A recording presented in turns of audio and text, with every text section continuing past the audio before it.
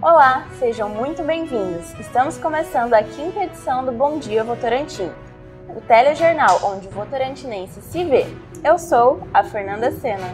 E eu sou o Bruno Sanches. O Bom Dia Votorantim é produzido pelo Departamento de Comunicação da Prefeitura e você pode acompanhar o telejornal pelos canais do Facebook, YouTube e Instagram da Prefeitura de Votorantim. Você pode apoiar esse nosso trabalho de informar o votorantinense deixando o seu like, fazendo um comentário nas nossas redes sociais ou compartilhando esse vídeo. E vamos agora aos destaques desta quinta edição. Nova empresa assume emergencialmente o serviço de transporte coletivo a partir deste domingo. Poupa Tempo completa um mês de funcionamento. Policlínica realiza mutirão neurológico neste sábado.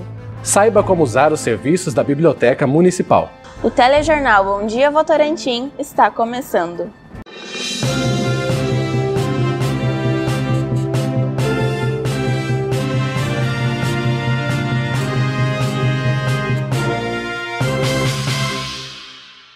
A partir desse domingo, 29 de maio, o transporte coletivo de Votorantim passa a ser operado pela empresa City.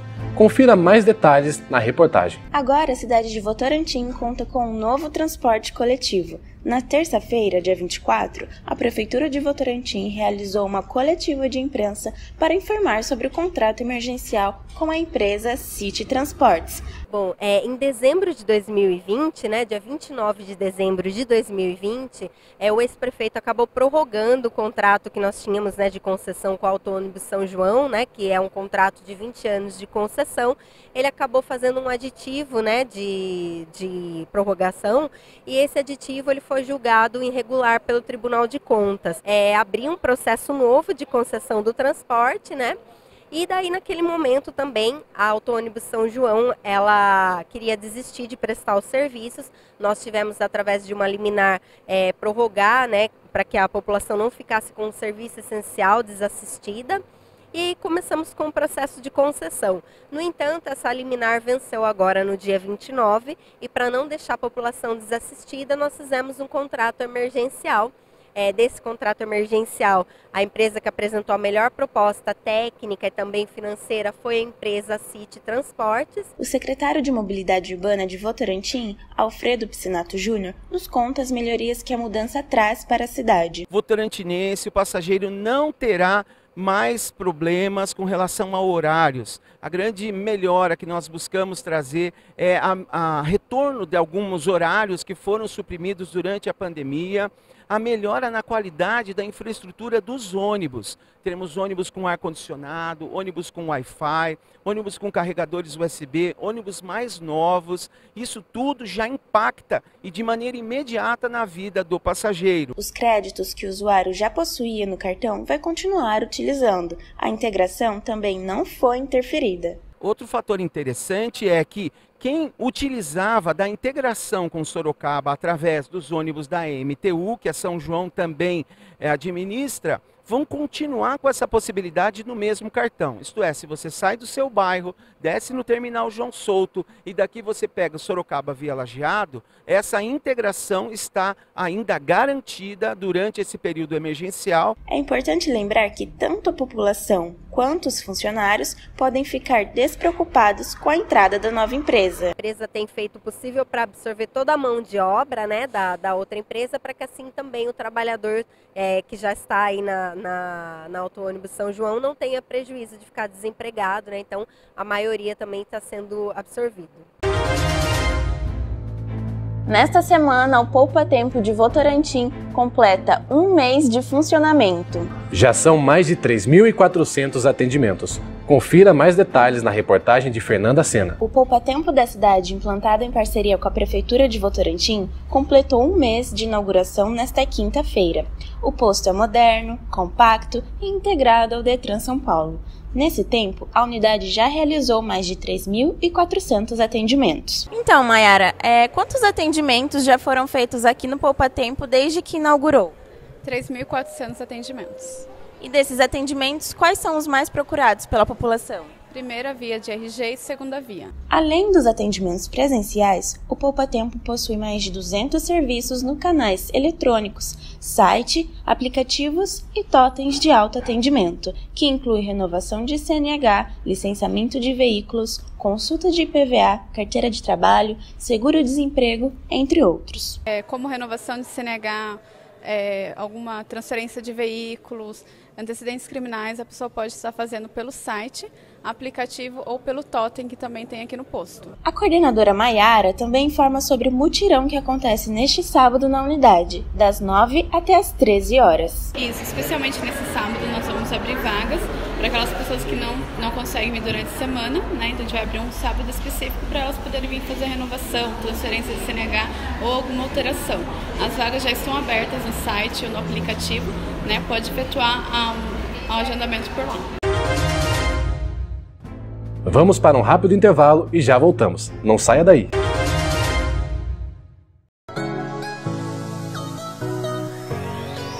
Ótima opção para curtir com a família é o Parque Natural da Pedreira Lucas William Correia Chemingo. Ele é perfeito para quem gosta de tirar fotos. O espaço conta com trilhas, playground, espaço cercado por rochas e três simpáticas esculturas de capivaras no topo de um mirante. Já o Parque dos IPs Roberto Gil Miguel tem um diferencial. Enquanto caminha pelas trilhas rodeadas por mudas de árvores, você pode deixar o seu cão brincando no primeiro espaço pet público instalado em Votorantim. Ali pertinho fica o Parque Natural do Matão Jonas Domingues.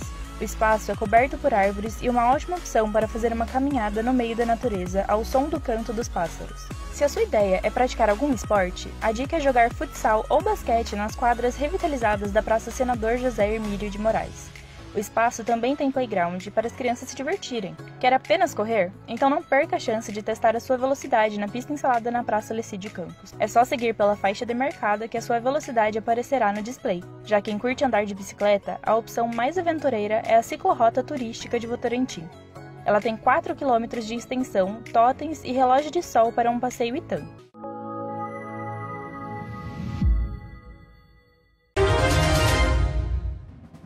Estamos de volta com o telejornal Bom Dia Votorantim. Essa semana o tempo ficou oscilando entre frio e calor. Como será que o clima irá se comportar nesta próxima semana?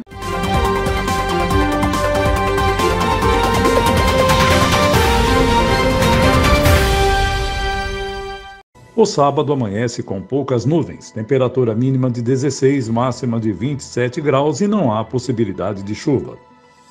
No domingo, a mínima será de 15 e a máxima de 27 graus, com pancadas de chuva no decorrer do período, mas à noite o tempo fica aberto. E a semana começa com mínima de 13 na segunda-feira, a máxima chegando aos 27, com o sol entre nuvens e pode chover a qualquer hora. Previsão do tempo com informações do Instituto Nacional de Meteorologia.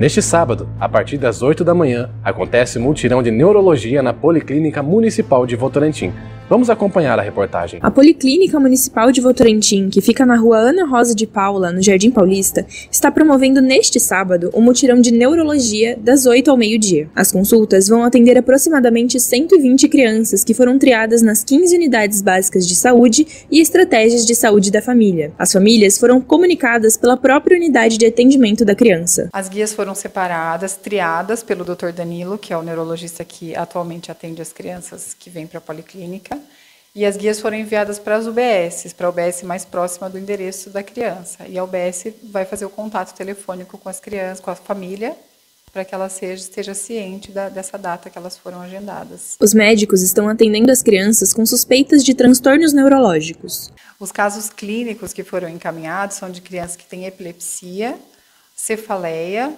TDAH, micro ou macrocefalia. O mutirão vai encerrar a fila de atendimentos para esta especialidade. O atendimento vai englobar praticamente a, a demanda reprimida inteira. Vai so, vão ficar poucas guias para serem colocadas daqui por diante. Os médicos que atenderão as crianças são da Pontífice Universidade Católica, PUC, uma parceria da Prefeitura de Votorantim com o projeto ABC, Amor, Bondade e Carinho. Vamos para um breve intervalo e já voltamos. Não saia daí. Chegou o aplicativo Votorantim Iluminada. Com ele você terá mais facilidade para indicar o reparo de iluminação pública em qualquer ponto da cidade. O aplicativo permite você registrar qual é o problema e até inserir informações do local. O sistema funciona por meio de geolocalização e, caso prefira, o local pode ser encontrado por meio do endereço. O sistema oferece o registro de quatro tipos de problemas: lâmpada apagada, lâmpada oscilando, vandalizada ou acesa durante o dia. Até mesmo um ponto de referência do local indicado pode ser inserido para agilizar o trabalho. Para fazer o cadastro, você deve colocar o seu CPF e um e-mail válido, pois após esse procedimento será enviado um código no seu e-mail. Após você fazer a solicitação do reparo, você receberá um protocolo. Ah, e você também poderá acompanhar o andamento do seu pedido. O aplicativo é gratuito e pode ser baixado em smartphones com o sistema Android.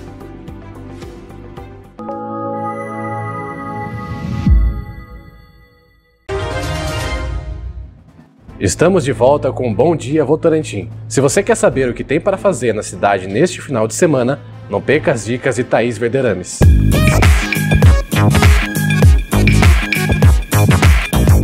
A Praça Zeca Padeiro cedia neste sábado, das 10 às 14 horas, a Feira de Artesanato. É a sua chance de adquirir produtos de artesãos da região. Agora vamos falar de esporte. Neste sábado, o Ginásio Altos de Votorantim é sede do primeiro Festival de Mini Handball. Esse projeto social da Secretaria de Esportes acontece das 8h30 da manhã até as 5 da tarde. Vale a pena comparecer. Também acontece neste sábado, a partir das 3 da tarde, o final do Campeonato Quarentão no Estádio Municipal. O jogo é entre o Guanabara Bela Montanha e o Santa Mônica. Lembrando que Santa Mônica joga pelo empate, pois venceu a primeira partida por 2 a 1. Neste domingo acontecem as semifinais do Campeonato Varziano. O estádio municipal terá jogo às 9 entre Fluminense e Parque Bela Vista e depois às 11 o jogo será entre Rio Acima e Jardim Clarice. Ainda no domingo acontece o seminário de Muay Thai. Será no ginásio do Mirante dos OVNIs das 9 da manhã até a 1 da tarde. O Fique Ligado dessa semana termina aqui. Segue daí, Fernanda! Você conhece a Biblioteca Municipal de Votorantim? Sabe como se associar e o que deve fazer para emprestar um livro? Isso é o que vamos saber na próxima reportagem. A Biblioteca Municipal de Votorantim João Krieger, que fica na Avenida 31 de Março, número 193, no centro, ao lado do Paço Municipal, funciona das 9 ao meio-dia e da 1 às 4 da tarde. Para pegar um livro, é necessário fazer a carteirinha. Então, traga os documentos originais, RG e CPF, um comprovante de endereço e uma foto 3x4. E não atendemos somente os, motor, os moradores de Votorantim, pode ser cidades do entorno aqui também. Pode pegar até dois livros, sendo os, o acervo geral, e dos, do acervo infantil até três livros. É, nós temos em torno de 12 mil livros. É, o nosso forte aqui é leitura de lazer e entretenimento. A biblioteca atende todos os públicos. É, pessoas de qualquer idade pode vir aqui na biblioteca, desde o bebê, que temos livros de banho, livros de capa dura, páginas duras, é, como pessoas adultas, adolescentes, da terceira idade, todos são bem-vindos aqui na biblioteca. O nome da biblioteca é em homenagem ao artista local votorantinense João Krieger. Um homem simples, mas que tinha um talento imenso para escrever. Ele escreveu vários contos, ele tem contos premiados.